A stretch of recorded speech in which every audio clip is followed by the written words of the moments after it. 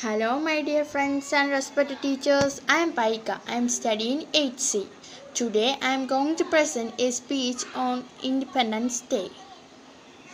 This day shall not be just a day when we gather to raise the flag and eat sweets.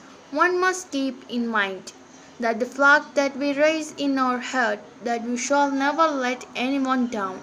The flag is also the hearts that we are behind in the time stretch. We shall not be let them down either. No bites of the delicious sweets should be taken without thinking of those nights when our leaders fought empty stomachs. As a citizen of this country should always keep the past, present and future glory alive in every moment of this day. We shall promise to keep the head of our farmers, soldiers, doctors, industrialities and government bodies high and we shall promise this till perpetuity.